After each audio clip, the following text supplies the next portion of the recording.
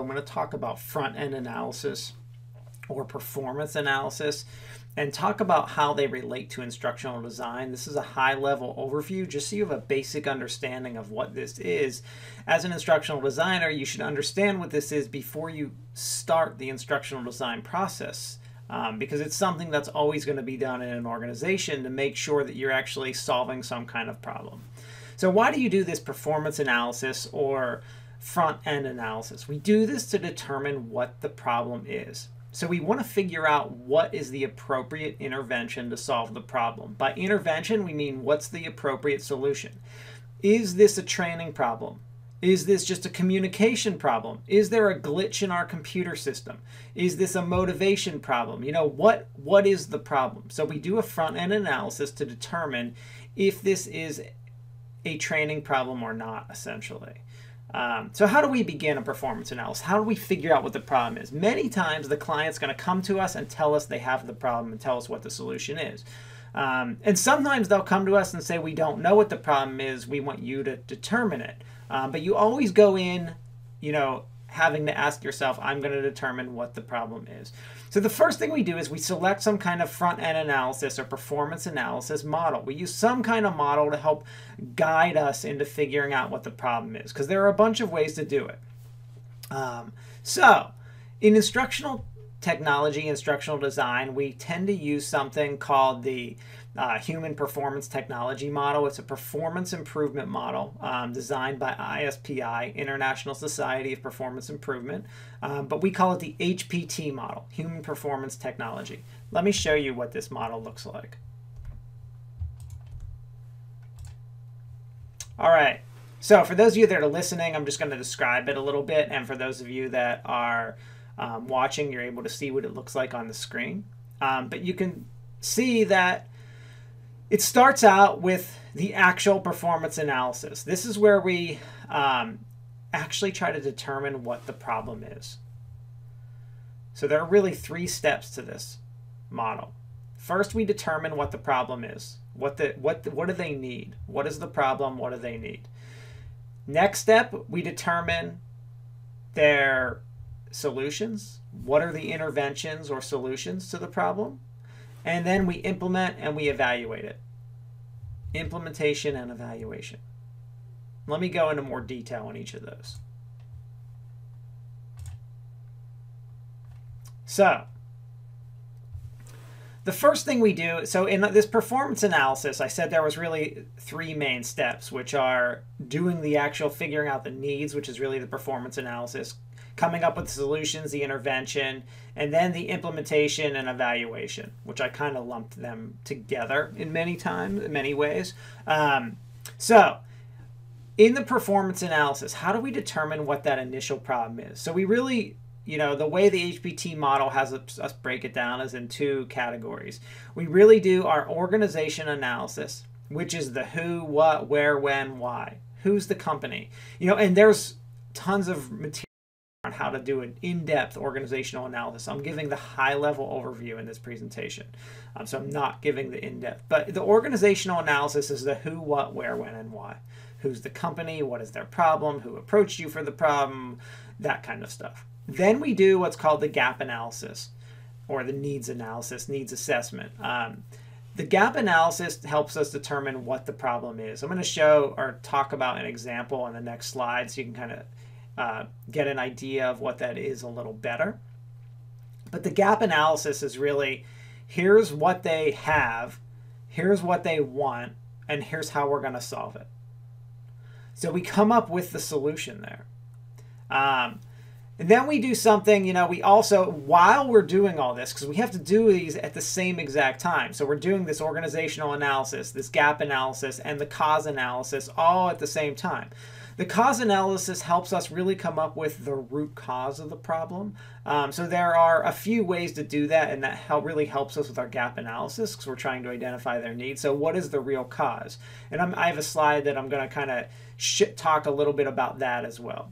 Okay, so once we've identified our problem and we've come up with some solutions for it, we actually we have our solutions, our client agrees, we start on our interventions. So what does that mean? That means is if training was the problem, we do some form of ADDIE. Otherwise, we solve it with other means. Like if it was a communication issue, we deal with the communication. Um, then we implement it.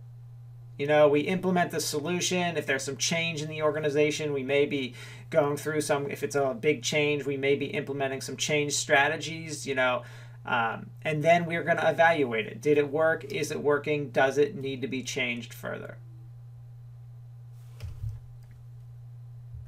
Okay, so this gap or needs analysis, what does this really mean?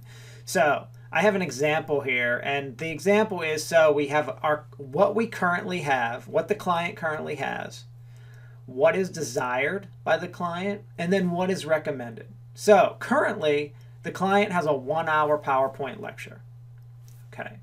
What they want is they want this PowerPoint lecture to be a one hour or, you know, whatever the time is, uh, online lesson. Um, they want it to be some kind of computer based or online lesson. They also want to make sure that the learners learn the content and they want to make sure that it's placed into a learning management system or an LMS, such as like Blackboard, Canvas, you know, some Desire Learn, something like that. Moodle.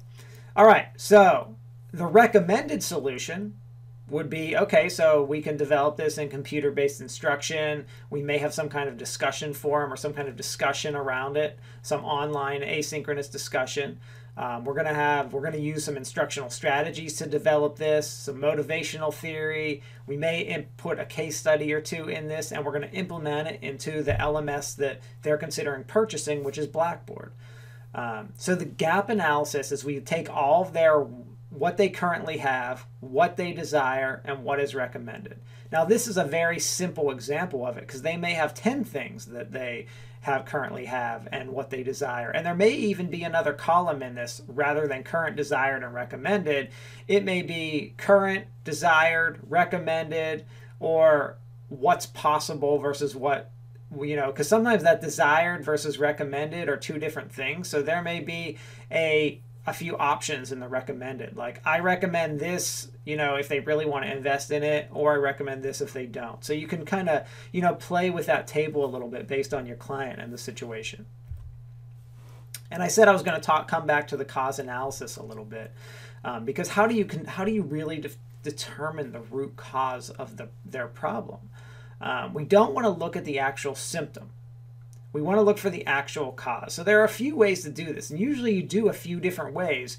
You know, you want to interview and talk to people and figure out how do you get to that cause. But one way, so there are three really t- types of things that you can look at. You know, three main data points to look at, and the first is the five whys, where we keep asking ourselves why five times. Like for example, my car is dented. Why? Because someone threw a rock at it. Why? Um, because it was parked on the street. Well, why was it parked on the street? Um, because I didn't want to park it in the driveway. Why?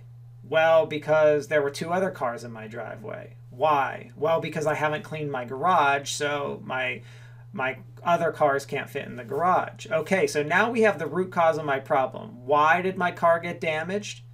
The symptom was the damage and all in the parking on the street and stuff, but the reason that it got damaged is because my garage is not clean, so I can't park it there. So I got to the root cause by keep you keep asking yourself why, why, why, so you get to that root cause.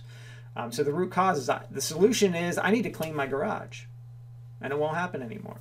All right, next thing is a Pareto chart and a fishbone diagram. I'm going to uh, talk about them in just a second. And if there are multiple reasons why, multiple causes, you may have 10 you may have to pick, you know, the first one, or maybe the first three, or maybe the first five, depending on how large the project is and how valuable those each of those causes are to really solving the problem. So we have a fishbone diagram. A fishbone diagram is really like a skeleton. We think of like a fishbone, where it analyzes the people, the methods, the materials, the environment, and any like objective measurements we might have that can help us help us to identify the cause of the problem. Think of a fishbone diagram as a brainstorming activity where you sit in a room with a group of people, you have a big piece of paper on the board and you all kind of list who are the people, what are you know, you're determining what the causes are. It's a brainstorming session to help you determine to find them. And the Pareto chart is really just to think of a graph, a chart, a graph. because you sometimes can pull up numbers or data points and see right away like in the example I have here on the screen, I'm showing just a normal graph, and you can see right away, oh, documents have the most customer complaints. Right away, I can see that documents and product quality have the most complaints versus packaging and delivery. Um, so you can see it's a good visual of hey here's what the you know you can enter in your data points and say oh well this is telling me this is the problem it can help me identify the root cause and using all these methods plus interviews and everything really helps you identify that problem okay so let me show you or talk about how this all fits into instructional design um, so we're, if we're putting this all together that performance analysis determining what is the problem what's the cause what is the problem? It helps us determine is training the problem? If training is the problem, then we start instructional design. So we're doing all of this before we're really going into the instructional design process. We're determining is training the problem. That's the idea of this front end or performance analysis. If training is not the problem, then we do something else. Or sometimes it's training and five other things. Training is just one of the solutions. And that's where we come in as instructional designers. But you need to first understand performance analysis so you get, oh, here's how we arrived to this point. And that's where we select an instructional model like ADDIE. So you can see there's a number of different models. Like we have, I just said HPT, and then we have these Dick and Carey and all these instructional design models, how they fit together.